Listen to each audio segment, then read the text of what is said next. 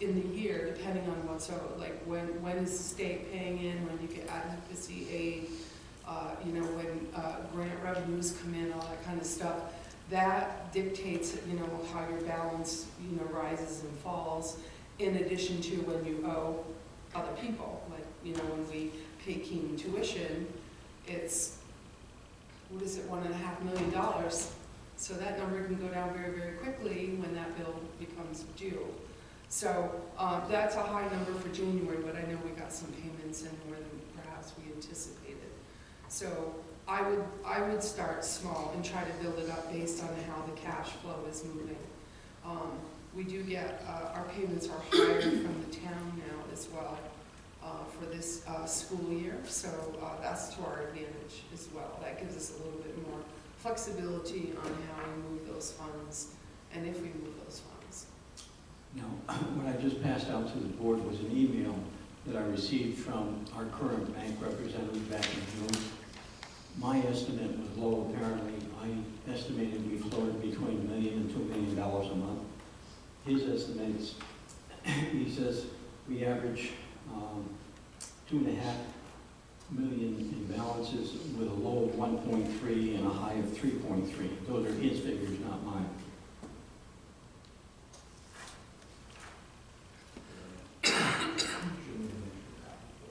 Thank you. Any other questions for Cheryl?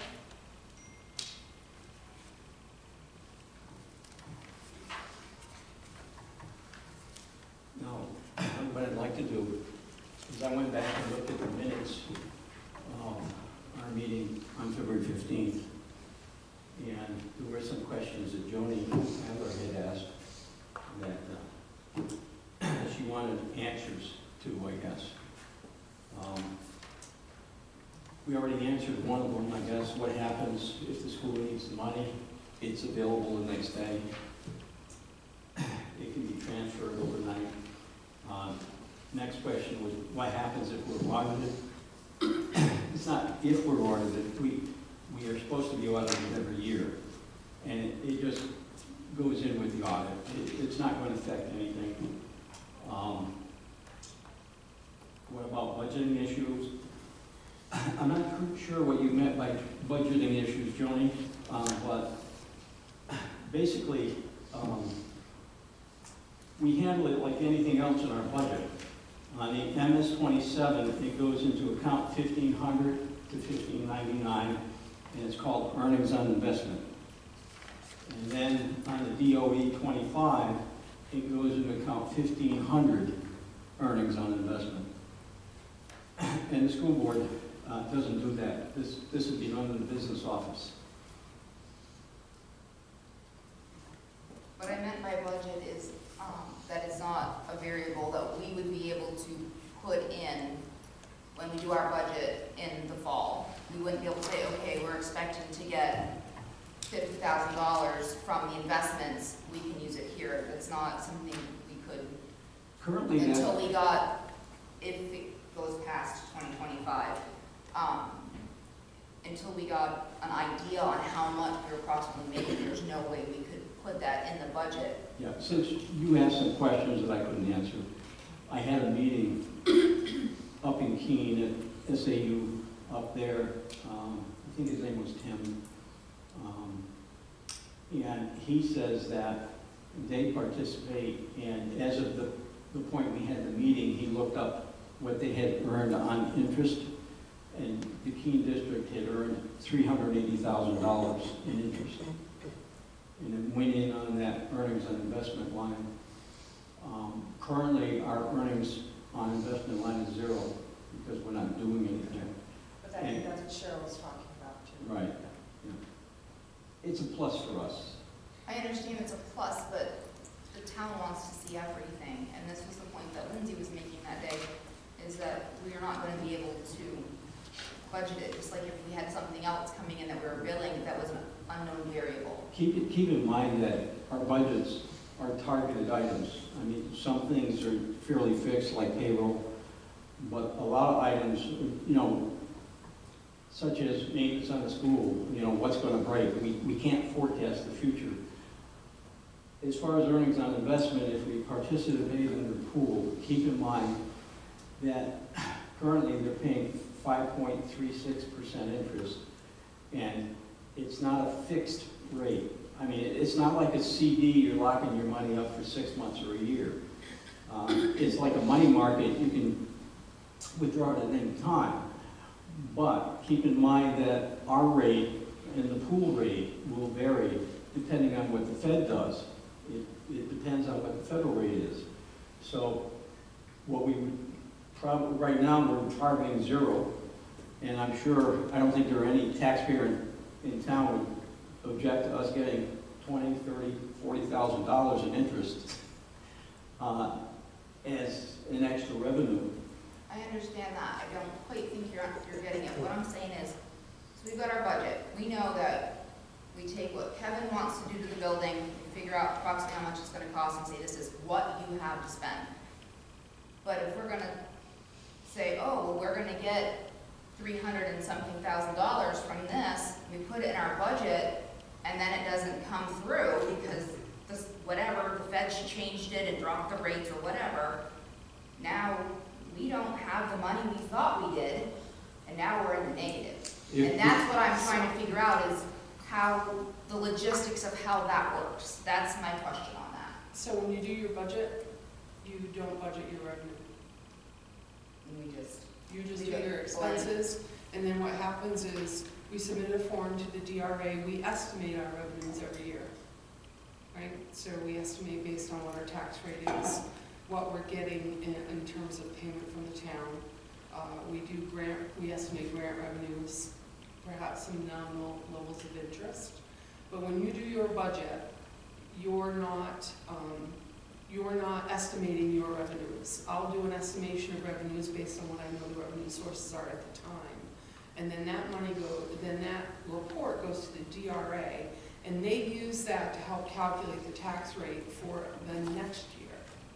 So if we were to get monies before the end of this year, um, I don't know that we would estimate it for the twenty, we haven't estimated anything in 24, 25. So there's really, the only impact would be a positive impact in the, in the tax rate for the year after that. So when you do your budget, all you're doing is looking at your expenditures, and then it's your tax rate that, in addition to your revenues, that helps determine how much money you need in order to support that budget. So, so you don't have to worry about that type of thing when you're budgeting. You'll, you'll have in the back of your mind that there's probably a a little cushion there, because you're gonna have a- an additional source of revenues, but you're not gonna, ha- you're not gonna, you're not gonna be forced to figure out what that number is. and that was the explanation that was needed, so we can have a clear understanding on how it's gonna work.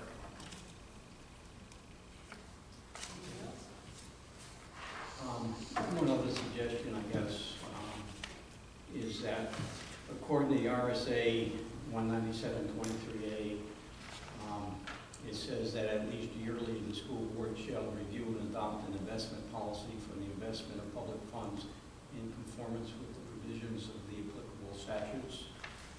And I looked up our investment uh, school board policy. Uh, It's policy DF a dash R. And it was last reviewed six years ago. So, and there is one change. Um, There's a legal reference to RSA three eighty-three twenty-two that no longer exists. That needs to be changed to RSA six forty-five. I think that once we have a policy committee set up, they will go back. Yeah, we went through a lot of policies last year, we didn't get to that one, but there was a huge stack that we, that were, Would you work on? yeah, like school Yeah. safety and stuff that we had to work I on. Just happened to come across it, and just wanted to point out that it needs to be addressed. I'm sure it's on Lynn's list. It's Marie's list. Oh, Marie's list. Now, Okay, um, Can I ask a question? Um, As a follow-up to the, to the question I asked at the last meeting, um, I would like to appoint as my deputy treasurer Jim Petrol. So I hope the board makes a decision on that. let us take care of first issue first, and we. So do I have a, a motion to, um, to investigate or to begin the process of getting into the New Hampshire deposit pool? Maybe as a six-month trial to see how it is working? I don't know. Well, I think you have a policy that, that with your permission, so I think you can, you can just endorse it. I don't know that you need to motion it. Somebody can correct me if I'm wrong, but I think by consensus, if you agree that we can implement the policy, then that's what we'll do. Yes, you're, you're correct, there is a policy in place that, um, I, in conjunction with the superintendent, can make that choice, I guess. It, the board has already approved that under the policy. Right, it's just because it's under discussion before, we want to make sure that everybody is okay with proceeding with it. And with you being our treasurer, if we, going ahead, if we go ahead with this, will you be coming to at least once, a, a meeting once a month to let us know how it's going? You know, I, I can, but in the past, I think it was done by Alicia Jackson when she was our business manager a few years back. Um, Yes, but you're our treasurer. that's right. That is part of your responsibility to tell us. What tell would you us. like me to do, Joan? Come to a meeting once a month and tell us how it's going. Okay, I would have to get that information from Cheryl probably. And And that's then- one good And then you wouldn't need me, you could, Cheryl. could Although do give us a little grace period so we can get No, it all no, set. no, that's fine. We'll work it out. So Sharon, you're saying that we just need I think by consensus that you, that we just want to make sure everybody's aware, given all the previous conversations, that, um, and you can feel free to motion it, but because you already have a policy where you allow for it, we just want to make sure that you all um, are okay with us proceeding down this road. Any other questions? I don't think, I mean, um, it, it makes sense to me, um, that now that it's been explained, because before I, there were gaps, and I, I was, I mean, I was trying to read to understand. But I think that if we approach it slowly, and then we're looking at both, to try and create some revenue, which is, I mean, I'm sure the taxpayers would be quite pleased if we could lower the tax rate as well, that I would think that is something we should try. Yeah, and I'm okay, now that I know how it works budget-wise and stuff, if we're gonna use a small amount to start off with. Well, and just as an aside, not directly related to that, just so you know, um, uh, when I came, a lot of the grants, we weren't claiming our administrative fees. So we started doing that this year, uh, and I working together to make sure that we can claim and uh, reimburse all the administrative costs that are available to us. So that number is gonna go up as well, and as we make improvements in our Medicaid billing, so we're gonna have all these other little revenue sources, hopefully, to, you know, drive down the, you know, the impact of any sort of uh, budget increases in the future. Hopefully that will help offset some of that. So we're really working towards getting that, that's our goal.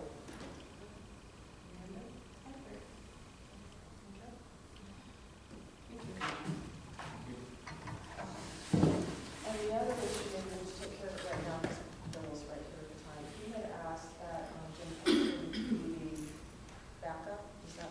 Deputy Treasurer. Deputy treasurer, um, so we, you know, do a motion to, I'll make a Yeah, Goes out motion. the door and get run over by a bus. I'll make a motion to approve that. I'll second it. All those, any discussion? All those in favor? Aye. Opposed?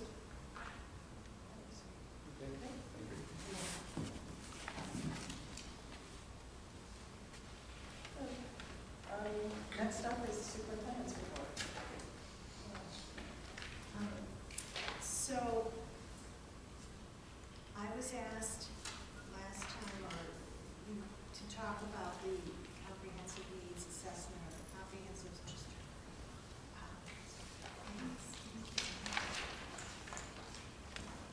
I was asked to bring some information about our comprehensive school improvement, and where we are with that. You're still for it. and where we are with that. Thank you. Um, So I have this, these, these slides that talk about what does it mean So we uh, have been a comprehensive school improvement designated. Because we are the lowest five percent in the state, um, our scores are low in achievement, which refers to the aggregate scores, our students' uh, performance on math and reading. Um, grades three to eight compared to every student in the state. And you can see that our, um, our raw score there, we are at one point six four, the state is at one point eight six. Uh, growth, we are also, um, we didn't make it three years in growth, and that's the percentage um, of the growth between what our students have earned the previous year, the previous number of years versus now. And we're thirty-six point one versus thirty-nine point eight three. Uh, equity is the difference between special education and regular education students. We're forty-three point four four, and the state is forty-eight point eight six. So our numbers are low um, for a variety of reasons, but not insurmountable. It- It's just not insurmountable. We can do it. So the improvement cycle that we're on, year one right now, this year, we're working on um, diagnostic review and action planning. So what we have had done is, uh, we had a company come in and do a comprehensive needs assessment, and I have that information. We're also having, a- having a state, uh, a state program come in called WestEd, and they're going to do another one to collaborate, to kind of triangulate what we already know. And uh, so this, this school improvement service will assist us with planning, the planning year and the compliance that we need to have. So they're gonna help us come up with a complete plan, although we pretty much have a plan going on. Uh, next year, we're going to implement what the plan says, and we're going to use, uh, state funding for some